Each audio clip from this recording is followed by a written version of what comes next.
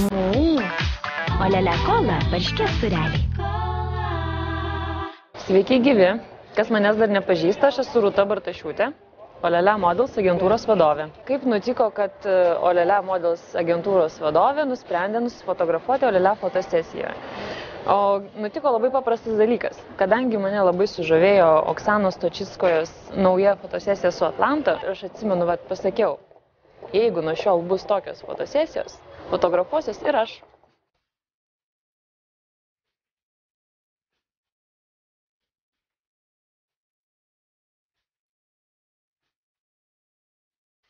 Olele ženklą patį apibūdinčiau trimis žodžiais - seksualu, moteriška, drąsu. Šiaip kam nepatinka olele ženklas, tai paprasčiausiai pasiūlyčiau bent jau pabandyti atkartoti, kas jau yra padaryta.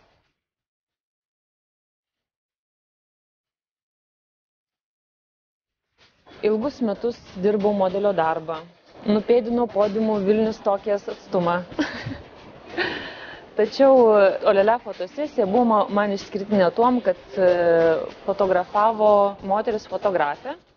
Ir manau, kad tikrai Oksana yra žavi, nuostabi fotografė, verta metų fotografijos apdovanojimą.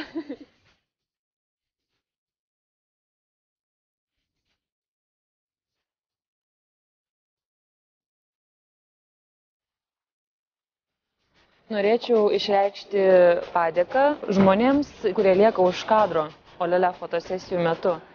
Tai Neliai, kuri yra Oksanos fotografijos padėjėja, Arvidui Umbrasui, kuris e, parenka merginoms gražius ir subtilius rubelius.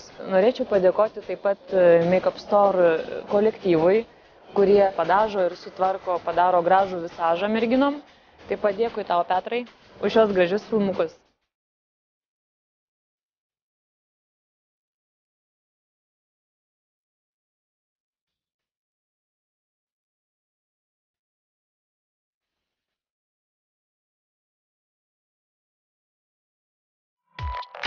Siurprizas. Olele kola saldainiukai. Paragauk, juk žinai, kad nori.